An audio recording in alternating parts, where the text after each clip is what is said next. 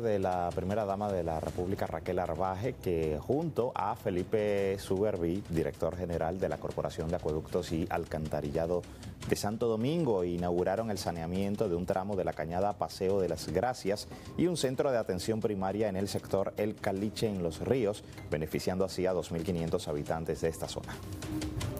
A partir de hoy podemos decir que Caliche de Villa Marina está cambiando. Este dispensario o centro de atención eh, primaria, junto a esta cañada, está beneficiando a más de 2.500 personas.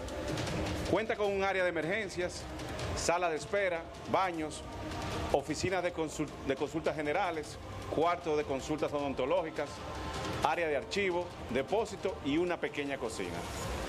Todas las áreas están totalmente climatizadas y cuentan con un generador eléctrico, parqueos y servicios de agua potable permanente. Y por supuesto, contará con un personal calificado para ofrecer un servicio digno y de calidad que garantice la atención integral, desde la promoción, prevención, tratamiento, rehabilitación y los cuidados paliativos a los pacientes. También cuenta con una farmacia del pueblo, con medicinas de bajo costo. Quiero informarles la buena noticia que en los próximos días se estará subiendo la licitación del saneamiento de la cañada de Juan Valdés y los tramos restantes y los tramos restantes de la cañada de los ríos para también completar ese circuito. Desde la CAS estamos transformando con visión, estamos viendo las cosas con visión de futuro.